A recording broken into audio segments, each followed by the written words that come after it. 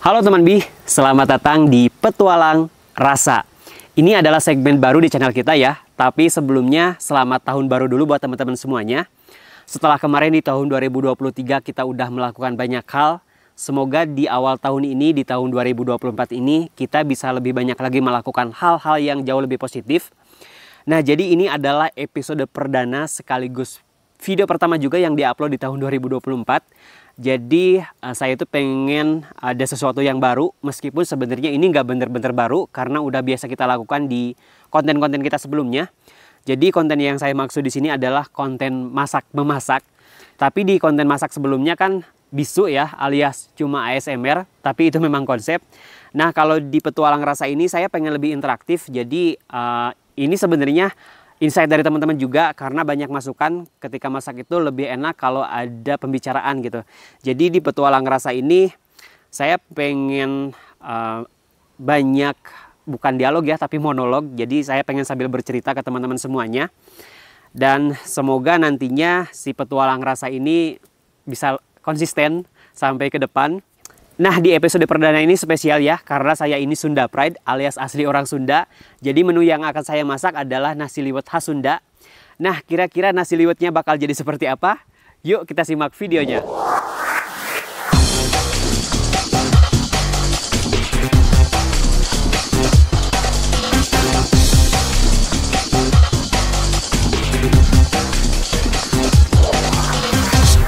Nah untuk nasi liwetnya di sini saya memakai beras sebanyak 500 gram atau setengah kilo.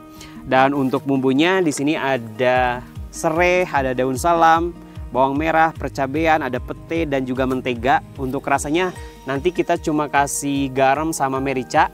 Nah selain uh, nasi liwet saya juga nanti akan bikin oseng cumi cabai gendot. Di sini udah ada cumi yang udah saya goreng di rumah.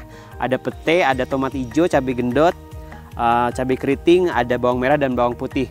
Nanti juga saya akan bikin sambal uh, karena kalau bikin nasi liwet nggak lengkap kalau nggak ada sambal. Tapi omong-omong ini baru aja di episode perdana ya. Kita udah ada sedikit drama karena saya nggak bawa panci, nggak atau nggak bawa penggorengan, nggak bawa wajan. Jadi saya cuma bawa ini aja buat masak nasi liwet.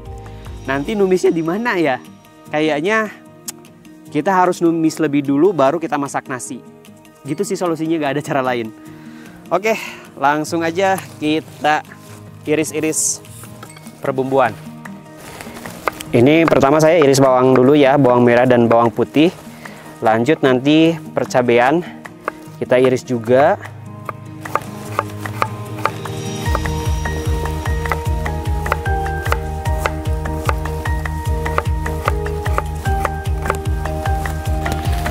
bawangnya udah selesai sekarang kita cabai keriting dulu. Kalau misalkan teman-teman pengen lebih pedas bisa menggunakan cabai rawit ya. Ini saya karena gak mau terlalu pedas jadi saya cukup cabai keriting aja dan nanti si cabai gendotnya pun nggak akan saya masak sama bijinya. Karena kalau pakai bijinya itu bakal pedas banget. Selain itu karena kita kan juga bikin sambal kalau dari si cumi cabai gendutnya udah pedes nanti si sambalnya kasihan. Gak ngefek. Lu asap gini lah guys. Drama kalau masak di alam. Sumpah asap ini untuk si tomatnya akan saya potong besar-besar seperti ini biar ada teksturnya Ngomong-ngomong ini pisaunya tajam banget, kemarin habis diasah. Jadi harus hati-hati ya.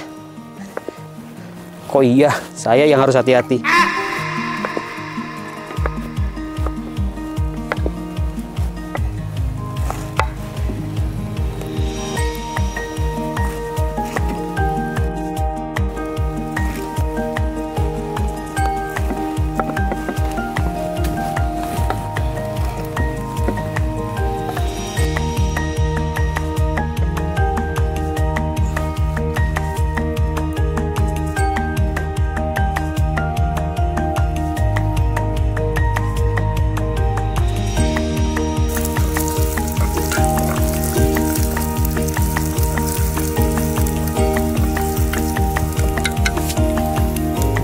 Kita masukin cuminya.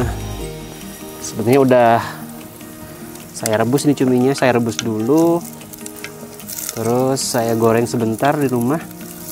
Jadi udah setengah matang sih. Jadi sekarang tinggal bentar doang gorengnya. Baru kita masukin tomat dan cabenya.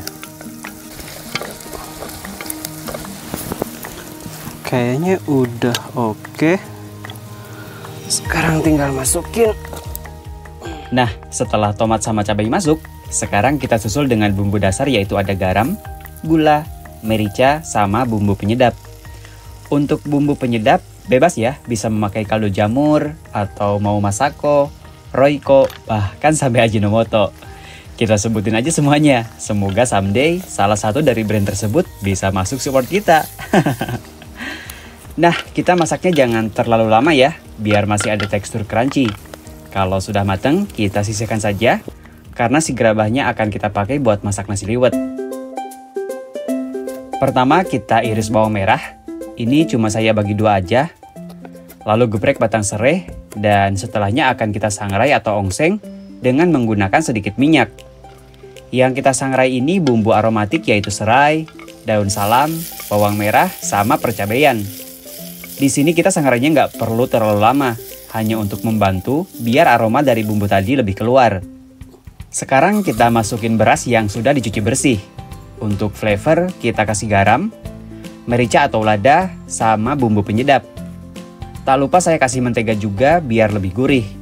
Kalau pengen lebih gurih lagi, biasanya memakai santan ya. Tapi kalau nasi liwet khas Sunda, biasanya enggak pakai. Nah, sekarang baru kita masukkan semua bumbu aromatik yang sudah kita sangrai tadi baru deh kita kasih air. Untuk takaran air, kalau saya biasanya satu banding satu. Atau nggak mesti sih, tergantung dari jenis beras juga. Kalau untuk beras yang karakternya pulen, satu banding satu sudah cukup. Tapi kalau beras yang karakternya perak, mungkin harus dilebihin. Jadi takaran air nggak bisa jadi patokan ya, intinya disesuaikan saja.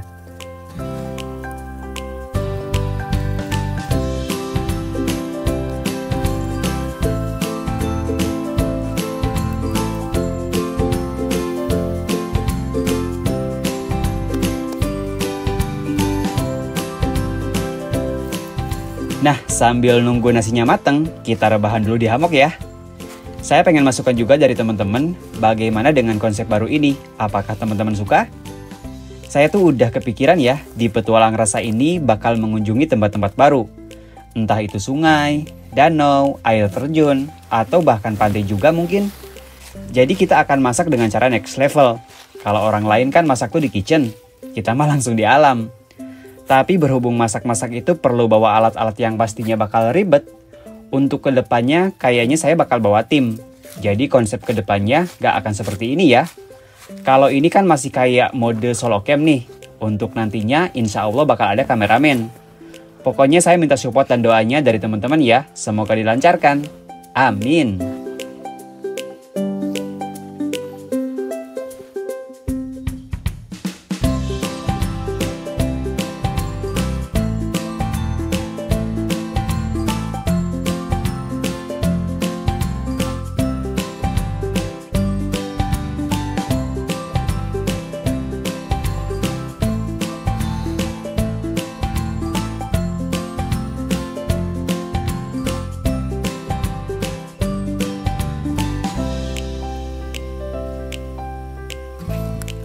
Nah, ini untuk bahan sambalnya akan saya kukus di atas nasi.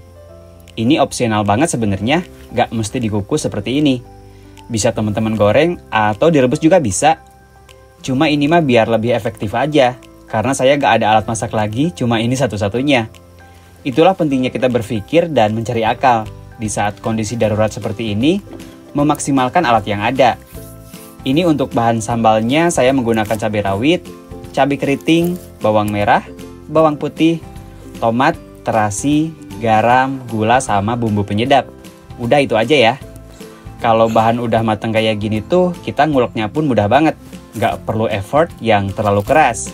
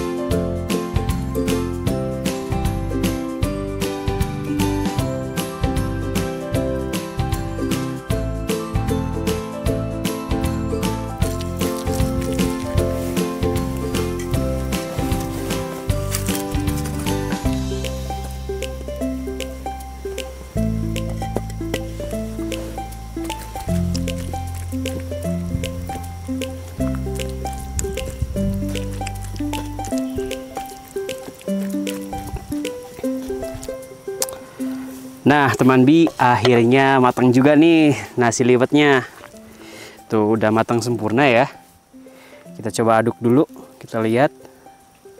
Nih jadi dia si teksturnya itu agak misah-misah ya. Karena tadi pakai mentega.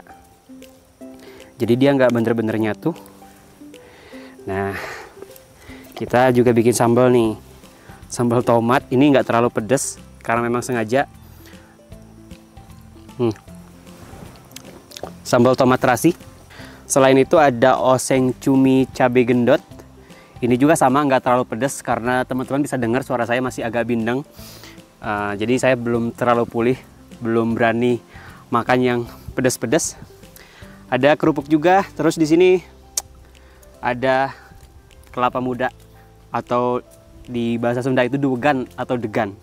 Mari langsung kita cobain ya. Udah lapar juga nih.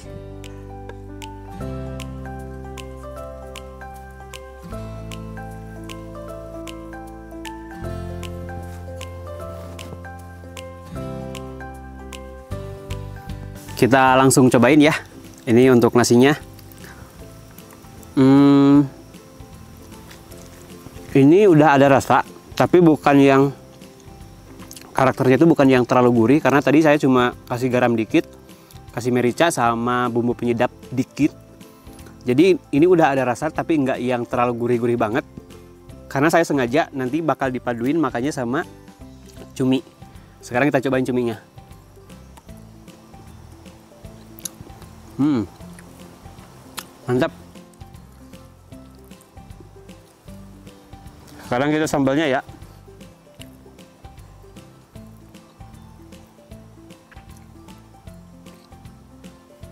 Lebih mantap lagi sih.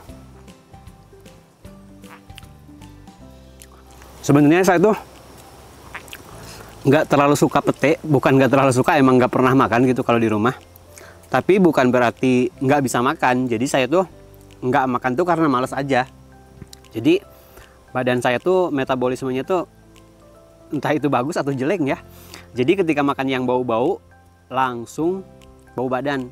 Makanya daripada kayak gitu saya uh, milih nggak makan pete gitu. Makan pete makan jengkol saya nggak makan. Tapi kalau misalkan kondisi kayak gini misalnya nih untuk makan untuk bikin nasi liwet pakai pete saya masih bisa masih oke okay, gitu. Orang Sunda tuh terkenal harus selalu makan lalapan makanya saya kasih timun sama terong Hmm.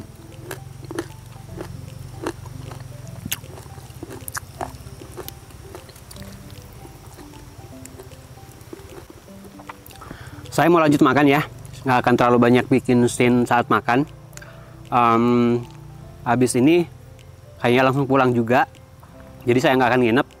Jadi rencana ke depannya uh, dalam satu minggu saya tuh bakal upload dua video lagi kayak dulu lagi ya uh, setiap hari Selasa sama Jumat. Jadi rencananya setiap hari Selasa um, upload konten petualang rasa dan untuk hari Jumatnya um, seperti biasa konten camping atau konten pendakian. So buat teman B tetap stay tune di channel Boarding Adventure. Saya pamit, sampai jumpa lagi di video-video selanjutnya. Bye bye.